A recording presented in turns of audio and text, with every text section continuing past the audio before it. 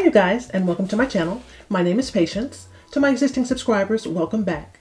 If this is your first time here, be sure to click that subscribe button and that notification bell so you can continue to indulge in the Haute Bella experience. In today's video, I am going to be revisiting the Starry Eyes to Hypnotize palette from Charlotte Tilbury. This is what this palette looks like. You guys have seen me use this palette before. In the previous video, I primarily focused on these two trios right here in this palette. This trio is called Happy Glow and this trio is called Love Glow but I got a comment on that video saying that there was some interest in seeing a look using some of the trios from this end of this palette. So that's what I'm doing today. In today's eye look, I primarily focused on the Dream Glow trio and the Seduce Glow trio in the Charlotte Tilbury Starry Eyes to Hypnotize palette. So yeah, this is a gorgeous palette and this look turned out absolutely gorgeous. I love it. So if you would like to see how I created this look, then keep watching. I am going to use this shade right here, and I'm going to use this as my brow bone highlight.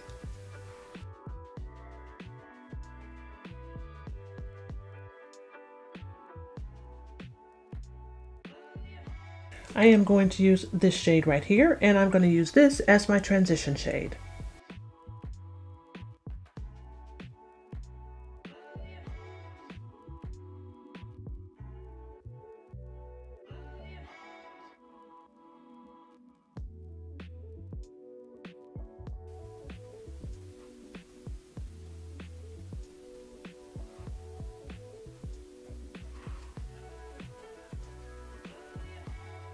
I'm going to now use the deepest shade in this palette and I am going to use this on the outer V and sweep it into the crease.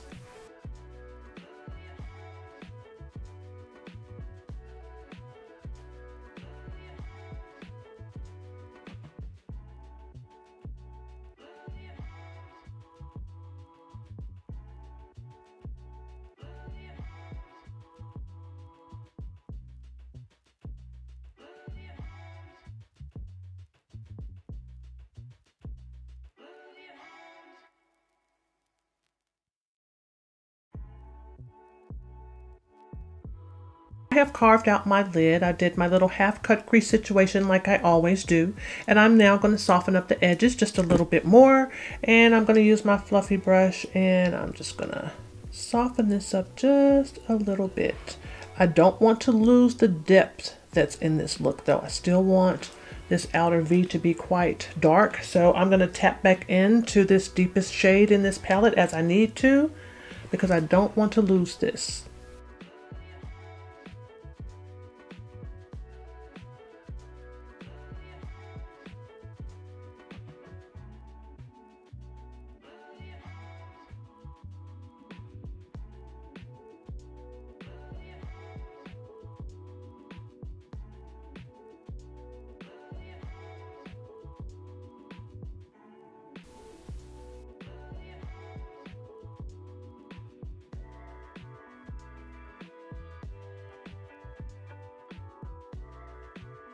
I'm now going to use this shade right here and I'm going to start with the inner corner of my eye and start to work this shade out towards the darkest shade that I've already got on the outer part of my lid.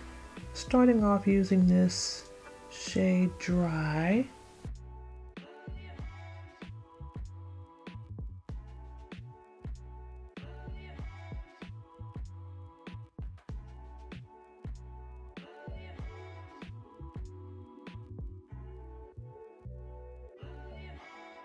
I'm now going to use this shade right here and I'm going to use this shade right in the middle here. I want to marry these two colors together that I already have on my lid.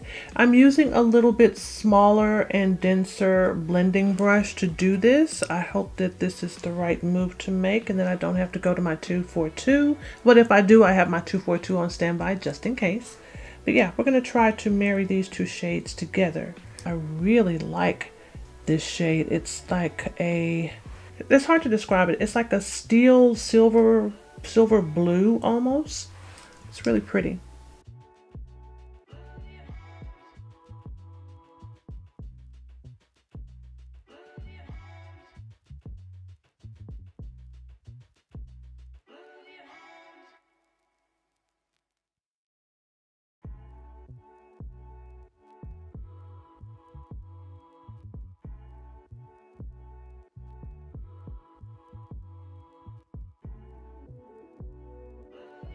So far so good, but I think I want to blend out these edges just a little bit more. I want to keep the depth, but I just want to blend them out a little bit more. So I'm going back to my MAC 242 brush and I am going to go back into the deepest shade in this palette and I'm going to do a little bit more horizontal type blending right on that outer V.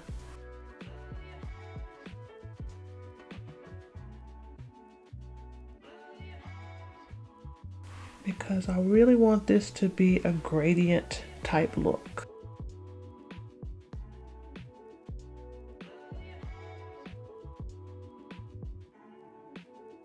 Yeah.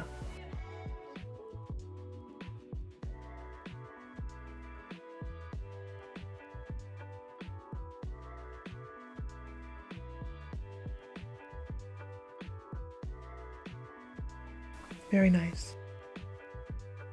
I'm using my small blending brush from Sigma and I'm going to go back into the darkest shade in this palette once again and I'm going to add a little bit more definition in the areas where I have had to manipulate my natural crease line.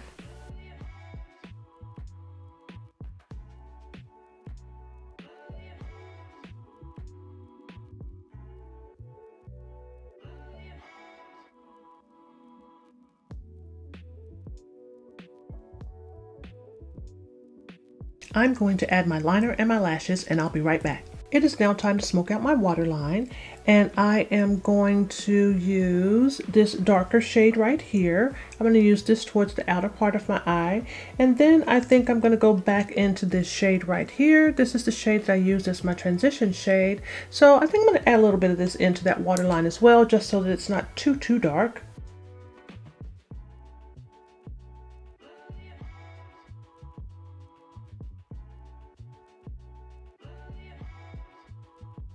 Even though that's very pretty being dark. I might not need to add that other shade in. I'm liking the way this is looking just by itself. A nice smoked out waterline. Not too much, just enough.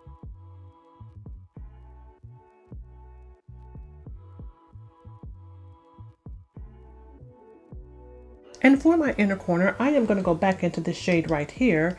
This is the shade that I used as my brow bone highlight. So I'm going to tap into that again, and I am just going to bring a little bit more lightness into this area right in here.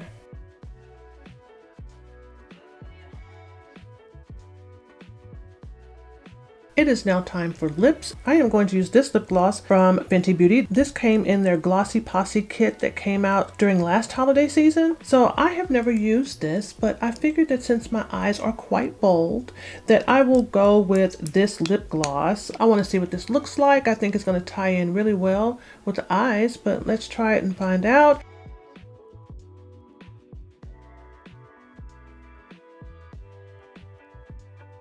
And this look is done.